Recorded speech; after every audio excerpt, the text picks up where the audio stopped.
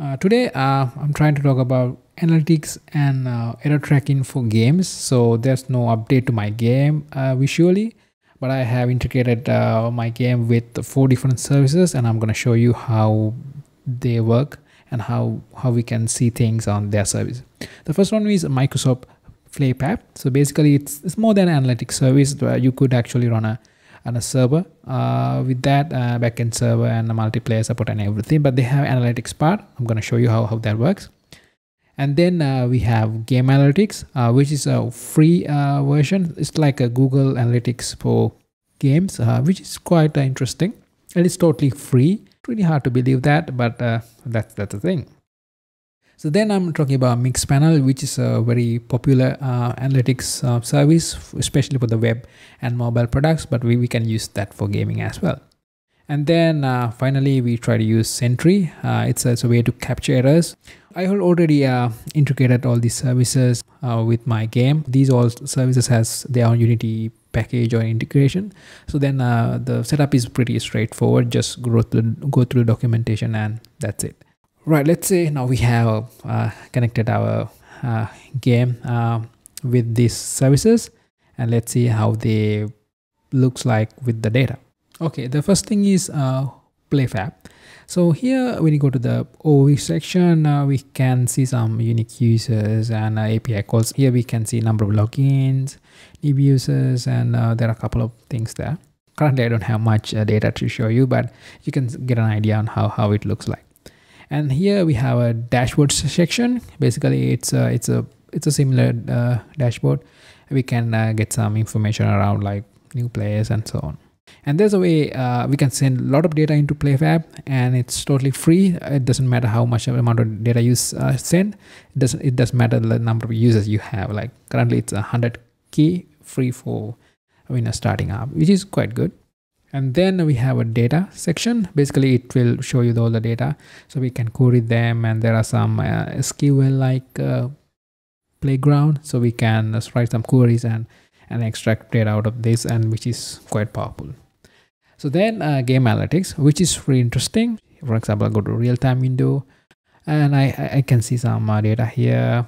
And it's uh, looks like in the previous way. And there are some uh, other metrics like engagement tracking and so on and then uh, come to Mixpanel uh, this is the wonderful uh, solution. We can send a lot of data into Mixpanel and then we can create graphs and dashboards uh, out of that and which is powerful. For, for example so these are set up uh, charts or the data uh, i'm interested in right now because i want to see the total plays in my game and the total plays per user. And the completion ratio start to finish of the game and the the the, so the p90 of the score the how, how people are scoring in my game. And this is i can see all this information. And if i need i can drill down based on the country maybe with the region you know. Uh, there are so many things we can do. And this is really amazing. Uh, and with the error tracking uh, game analytics also has a like a very tiny uh, way to track errors so it will show you errors in that case which is quite useful. We get the total number of errors and uh, you can click on that get some information. And uh, uh, of course this is quite usable. Uh, so if, if, you don't have anything this is very important to have at least something like that. You can uh, see what's going on and try to fix that one. And then uh, we come to Sentry which is like a really fully pledged error tracking solution. So basically here I send an error so i can go there and and uh, so i can see a lot of information like the the the platform gpu information and you know user information. I think user part I have we have to do something manually uh, right now because the unity package is not that stable right now. Uh, we might have to change some something manually but still we can track users. And there are some device information and you know which is really amazing uh, to get it automatically because I, I don't need to do anything to track this information. So in my game, I definitely go with PlayFab because I want to like uh, I want to like uh, use PlayFab for some other reason. So definitely I'll, use the analytics solution.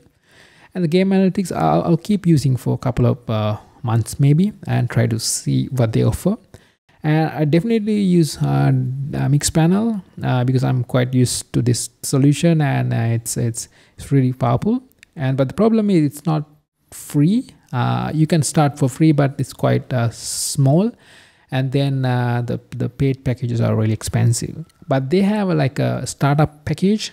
Uh, basically they provide 50k usd for one year i guess. So then uh, you can use that within the product and it's quite uh, useful. I, I have uh, taken that uh, package and, and yeah then i don't need to worry about the money right now.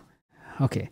About sentry i think they have a free uh, plan uh, when you're starting up i think which is quite okay uh, when you're starting up but i think their paid uh, plans are not that expensive so which is which is okay right so yeah i'm gonna use this for services for maybe a couple of months and then i'll i'll, I'll do another review with uh, with some more data and more feedback.